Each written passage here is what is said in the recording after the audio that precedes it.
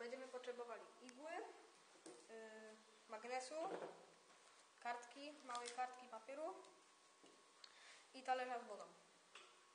Najpierw musimy y, ucierać y, wiele razy igłę o magnes,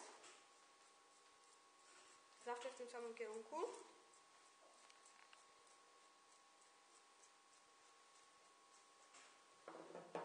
Potem kartkę papieru, żeby pływała, żeby się unosiła, a potem trzeba włożyć igłę. I igła zacznie pokazywać, y, y, zacznie pokazywać y, północ i południe.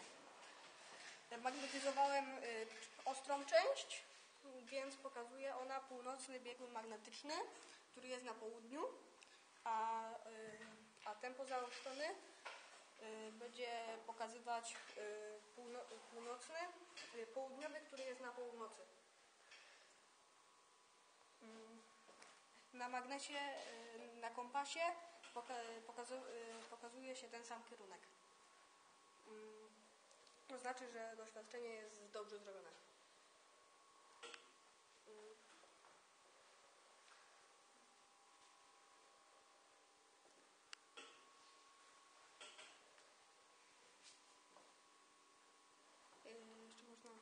Doncic.